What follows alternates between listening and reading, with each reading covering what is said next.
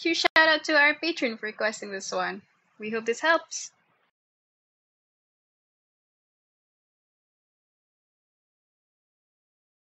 Mm-hmm.